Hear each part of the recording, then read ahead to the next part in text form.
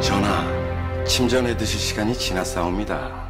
아비가 자식을 위해 책을 만드는데 자네 같으면 잠이 오겠는가? 왕가에서는 자식을 원수처럼 여긴다 했다. 네가 왕이 되면 알 것이다.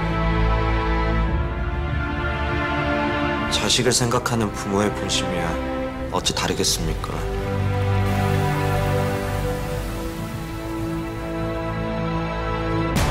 이 나라 군대가 당신들 침묵을 도모하는 곳이오. 왕은 결정하는 자리가 아니야. 신하들의 결정을 윤호하고 책임을 묻는 자리다. 예, 다 제 잘못입니다.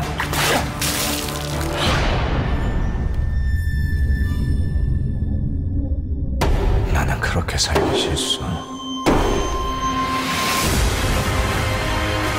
이것은 나라 일이 아니고 집안 일이다.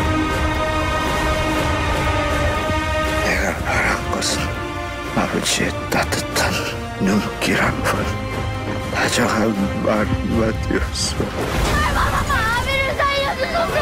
이것이